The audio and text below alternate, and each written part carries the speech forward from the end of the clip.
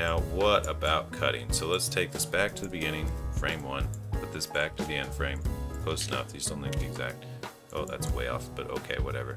So say, I'm gonna just show you cuts first. So you have to select the files you wanna cut, and then there's a couple different ways to cut. There's a soft cut and a hard cut. And K is the hotkey. So if you just wanna do a cut, you can just press K. Now you can also right click and go to split and boom, it'll split the files so you can move them around separately. And you can see that it'll overlap a little bit like that. If it's doing that, it'll snap, as you can see. Now that was a soft cut. Just doing that split is a soft cut. And what that means when it's a soft cut is you're given some freedom for repairing your little timeline. You see these little light gray edges? You can click those. I'm actually going to do a control click so I get both of them uh, the sound and the video. And you can just move that. If you have it highlighted, you can move it. So a soft cut allows you to extend past the place where you cut. So now we actually get duplicate video, like from here to here is going to repeat twice because we extended it. I'm going to hit Control Z to undo that change. Alright, so soft cut allows you to extend past where you cut. That's the big thing about the soft cut. It's very forgiving for lining things up. So now let's drag this back over. All right, well that's fine. We're just gonna leave that. Now let's talk about hard cut. So let's go somewhere else and select both of these. If you just do split, it doesn't do anything unless you haven't selected, so it only splits the ones you select. So you press K. Now the other option is Shift K. You don't see that here because it's not as common, but if you're doing something like changing the speeds and uh, doing uh, speed up, fast forward, uh, slow down, you do need to do these hard cuts. But if you're not doing those, you don't need to worry about it. So to hard cut, it's Shift K. Uh, and looks like that's now called hold split. So they've changed those names in the old versions. They were uh, soft cut and hard cut. Now it's split and hold split. So the hold split, we'll do that. Let's move this over a little bit. We're going to find that even if you click these ends with control click, it's not going to let us extend. See, it has this like uh, dark gray area. It's just going to be like a paused area that is just a freeze frame of the first frame of whatever. So it doesn't let you repair your video in that way, but it does allow for some freeze frame action. And that's kind of cool sometimes. So I'm going to go ahead and undo that. And I think you probably get how to do the cuts and move things around and extend the beginnings ends and like line them up. That's like, you know, 99% of the work sometimes when you're just doing some basic stuff. Like maybe you have this awful section where you said something you don't want out there. So you're just like, all right, I'm going to shift K there. I'm going to shift K there. And I'm just going to get rid of this section. So you do that by just highlighting that section and pressing delete.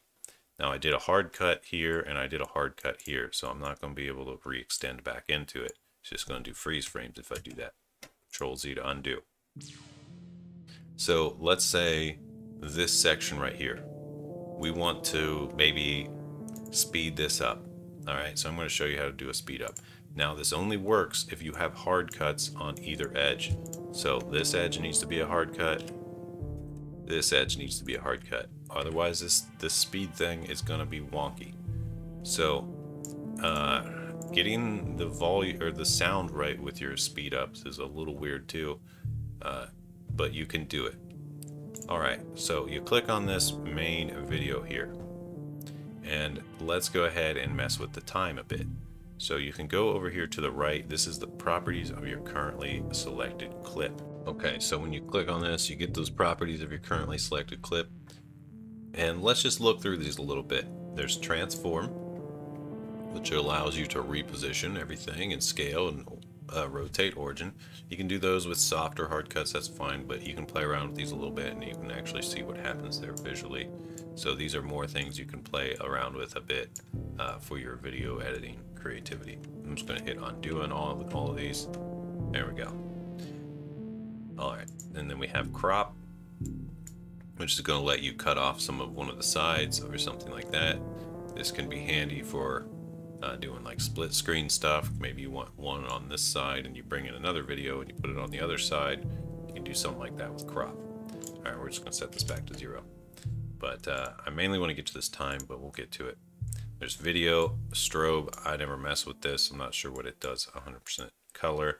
You can just change, well, the saturation is going to be kind of a black and white effect or super color and multiply. It's going to make it really bright or just disappear entirely. So you can leave those default, but you can mess around with those at some point. Okay, so it's not over here. Uh, but there are some important things. It's nice. It's really good to know about those. Mostly transform, crop, uh, and this color are probably what you're going to use. You probably don't want to mess with the time and source and other stuff. All right. And there's a compositing. We'll probably come back to this some. This is actually somewhat important. Right now it's set to cross. The most intuitive way to use this blend, in my opinion, is actually with overdrop. Uh, because that makes basically if you're doing some layers of videos overdrop will make the one on top visible first, basically. So often when I'm layering stuff, I'll be switching the top, the ones higher up to overdrop. Otherwise, they're not going to reveal stuff behind you. So that's going to be a little weird. Let me do another example. Let me just show you. Uh, I will get to the timing stuff. I just uh, don't want to skip over this. So I'm going to shift K here. I'm just going to grab another section of video. I'm going to shift K here. And let's say I don't want the audio on this one. So delete the audio there click it and hit delete. And now this piece of video. Say I want to bring this up into its own timeline. And then maybe I want to shrink it and do a little picture in picture. So let's click over here so we can see what's going on. Right now, what's going on is going to play the audio of the one behind it. But when it gets to here, it's you're going to get overlay of this video. So this video is going to be on top. So we can click this. Let's go to transform. And let's just scale it down a little bit. 0.7 is good. So now the one on top is smaller. But as you can see, there's uh, this checkerboard behind which basically means it's going to be nothing or black. So you you would think you would see this video behind it, right? And the reason you don't is because this is set to cross. You need to set it to overdrop. And then it'll show the ones behind it. So that's the point of that. You can see you'll do this with pictures if you're bringing in like PNGs and cheese and stuff. Uh, you can play around with these some, but typically you're going to be using stuff like overdrop. And that should be it. The opacity, you can make it fade in and out or be half visible. Can be used for effects if you're, for example, layering two of the same scene and you want to make someone disappear like they're a ghost. You could use something like this opacity to fade them out. Um, and that gets into keyframing. Uh, we'll come back to keyframing. It's kind of complicated. I want to finish talking about um, speeding up a video. So let's say we just want to speed up this little section here that we overdropped. You can do this to anything really. Uh, we're also just going to move the position a little bit up here. Now this is just totally sample kind of, you know, whatever. So say we want to speed this up. We do need hard cuts on the side, so let's just double check. Yep, we got a hard cut there. We got a hard cut there. So now there, someone's probably going to ask me about these keys. I just click the edge, get it highlighted, press the G key for grab. It's a Blender hotkey, G. And it'll give you these little arrows that let you start moving it. And when you click left click again, it snaps it into place. If you press escape, it cancels. So that's all I was doing there is hitting G and then escape. All right, so let's speed this up. To speed these up, you need to add an effect strip. So we're going to get into a little bit about effect strips. All right, so you click on it, you go up here to add, and then we want effect strip. And we'll see a couple specific ones, transform, speed control. Transform is essentially the same as this, except you get another set of transform properties so you can like layer them. Uh, usually not necessary, but we're looking at speed control, speed control. So you're welcome to play around with all those because I'm not going to talk about all of them. There's just too many. But speed control is going to put the property on whatever you had selected. So it's going to put that speed control property on that clip we had selected there. And uh, as you can see, it's there. It's kind of hard to visually make out. And it is defaulted to overdrop. If this doesn't default to overdrop, you might have to change it. Otherwise, it's uh, going to do something else. So now what we want to do is just is just change this speed. Now the way this works, but now if you grab an edge and extend it out, it's gonna slow down the clip. it's to basically match that small section and extend it out to that via slow-mo. So it's hard to see here, but if I just hit spacebar, you'll probably see it a little better. You can see this is a slow-mo going thing. So yeah, maybe you don't want that right there, but uh, that's how you do slow-mo basically is you just put that speed control over something that's hard cut on both sides and extend it out. If you want to if you want to make it faster, you do the same thing except you bring it in and it should zip through. As you can see, it's going super fast there. It's hard to tell in this particular video, but yeah, look at this zip zip. There you go. Whoop. So it's going a little faster. It's gonna shrink down via speed up uh, to whatever you want. So we could play the whole clip super cl quick by doing this. It'll just, there we go. So maybe we want that. I don't know. I'm just doing random effects here. There's really no method to the madness, just kind of showing you stuff. So we could have a sped up clip over top in the corner by just layering some of these fit effects. And there we go. Yeah, we don't have the sound. The sound is gone, right? So that's a thing. And that's something that's kind of tricky to get right, and it's going to take some trial and error. Typically, if you're speeding up or slowing down a clip, just delete the audio. Um, because, well, let me let me grab another section. So Shift K here, we got another hard cut area. Let's click this, go add, uh, effect strip, speed control, and now we got the audio alongside it for now. So this audio,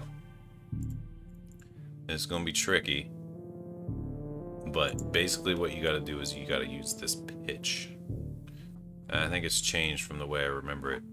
Basically, say, okay, this is how many frames is this? All right, let's let's we got to do a little math sometimes because not everything's automatic with Blender. Sometimes you got to kind of custom do it. You can see that the duration is 10177. 10177. So it's that many frames, 10,177. All right, so maybe we want to make this double speed. So we'll cut the frames in half on this thing, which would be about, I don't know, let's pull up a calculator. So actually we can do this the fast way, just hit undo a few times. If you go to this duration, and you just go to the end of it and press and hit divide by two. Boom. It'll just do it for you. It'll set it to exactly half the best it can. Now we can do the same with this audio duration divide by 2. And we have the audio matching. But the audio isn't sped up or slowed down now until we hit this pitch.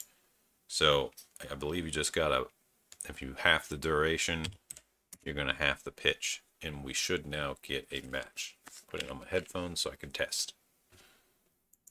Alright, so we should get, oh, I might have done this backwards. That would be a slow down pitch. So since we're speeding up the audio, we want to up the pitch. This is going to sound a little weird. It's going to be chipmunky basically. And it looks like it's lagging me out a little bit. Yeah. So it's uh it's if you got layered effects in this timeline thing and it's going to be pretty slow. That's normal as it catches up with all your effects. And there we go. The audio matches, it's sped up and pitched up. That's essentially how you do it. So if you get stuck, study that carefully. But also, no one's going to care. A lot of times what people do is just delete the audio, put a little music behind it or something, and it's fine. But if you must have your audio with it, that's how you do it. And it's the same for speed, speed up or slow down. If you extend it to double what it was, yeah, so speeding or putting this pitch up is for speed up, put it down for slow down. Now, there's something weird about the pitch. Uh, there might be more ways to adjust it to not be so chipmunky, but I'm not sure and I'm not going to get into it. That's basically how you do that